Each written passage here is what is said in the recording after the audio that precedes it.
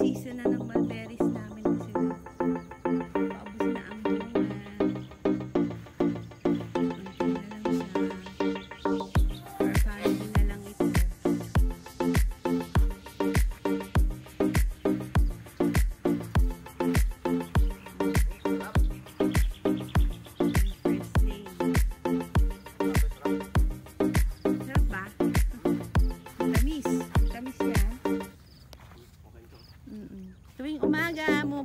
dito sa farms. Nasamahan ko si Daddy pagkahatid namin kay RJ.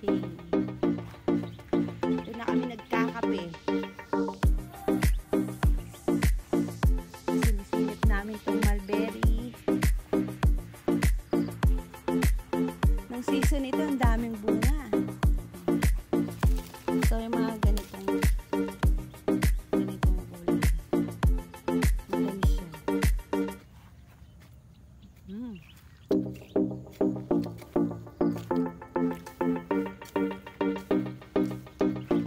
Sabi ng study ng mga doktor, maganda ito kainin tuwing morning ang mulberry.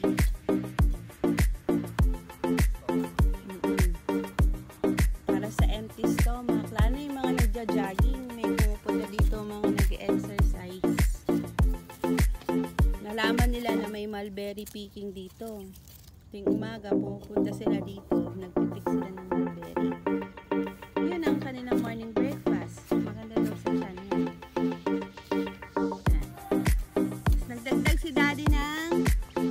second lane at third lane ng mulberry. Yan, tag 15, bali 30. 30 daddy, no?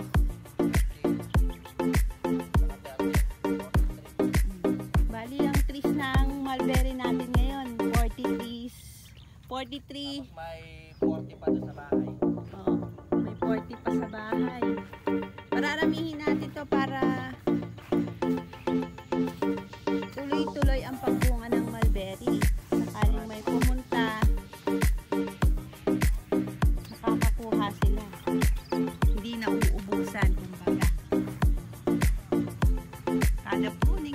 Bye.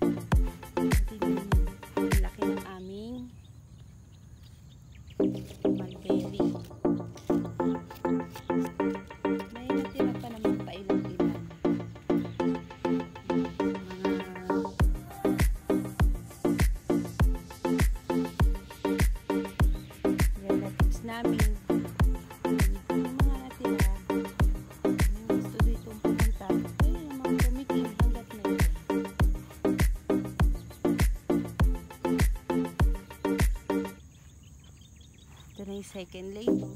May mga bunga na siya.